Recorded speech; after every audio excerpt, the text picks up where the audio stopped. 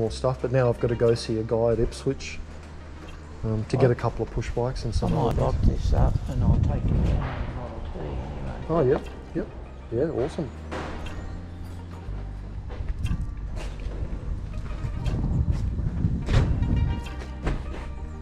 I use her every day of the week and sometimes load her up with stuff and she's so handy. And, um, and visitors like to see it running around. Yeah, know. yeah, absolutely. I can imagine they would. I like to see it. Going for a drive and it's going to be even better.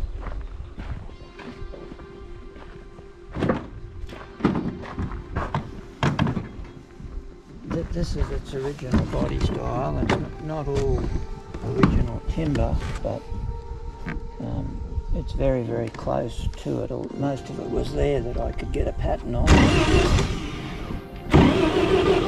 The old thermometer. Yep. The story was the hole was meant to meet up with the beams where they would cross so that you could see if it was overheating. Well, when, when the, that little tube, that's a capillary tube, the red uh, rises up, and when it's in the circle, it's hot. Yes.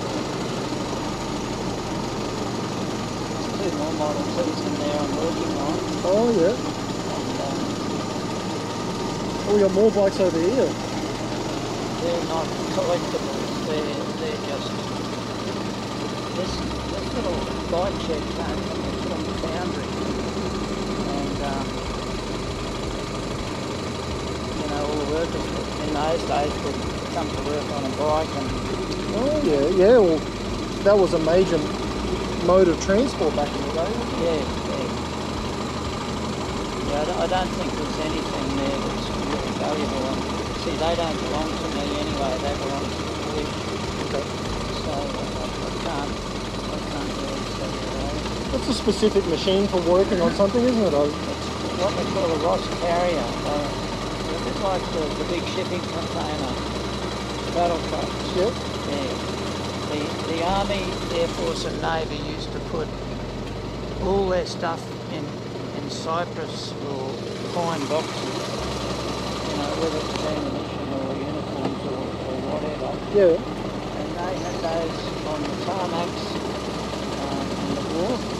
Yeah. Run around pick up these boxes I have I have seen them in something before. It might have even been a movie that they were using things like that. Made by Ross in Canada um, for the war effort. And since then, they, well, especially after the war, uh, a lot of sawmills were Listen, lifting logs around and yeah, well, I know a couple of farms that all, would. all these tractors down this line, they're all goers. Yeah, wow. I know um, a lot of farms bought those uh, Chevy Blitz and we're trying to use them on farms for for everything. Love the wheels on that thing too. This is a single cylinder, 70 horsepower. We use to drive our grain station. Wow. The old stockyard. yeah, that's always full of baby farm animals and Yeah, okay.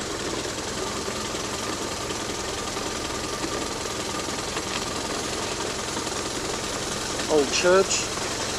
Yeah, we have a lot of weddings in the church. Oh yeah. Be This would be great for a wedding, wouldn't it? yeah. And we can have the reception in the eating area here, or we've got a hall as well. So that green building down there is the hall. And it's got its own kitchen. I could. Yeah, I, I can see the attraction of uh, wanting to get married somewhere like there, Yeah. and Yep. all this is great for the photo props that they that they have. I had a ride in this about six weeks ago. In the back I had a bale of hay just here. Yeah. and I, I made a temporary ramp for it to climb up in and yeah, it was good. A mate of mine just has old farm machinery around. It's an old building, um, made in the 1800s somewhere, the, the old property. And yeah, they get weddings come out and they want to do all their photos, Yeah, uh, you know, in front of the machines. And he's got some sort of old huts around and seems very popular at the moment. To, Well, even if uh, couples don't get married here, if they get married elsewhere, they still come here for, for photos. yeah, yeah.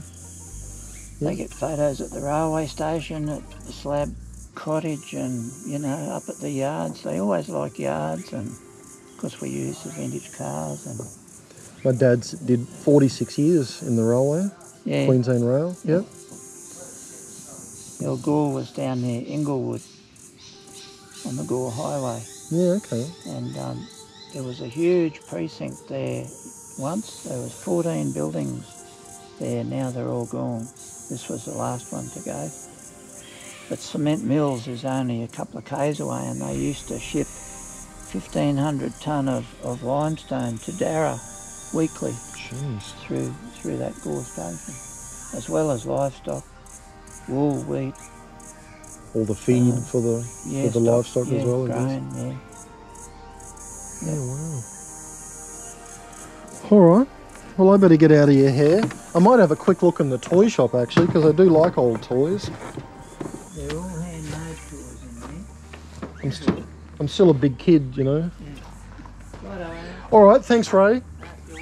I'll um I'll call you, organise it, and yeah, come up. Yeah, okay. It'll be great.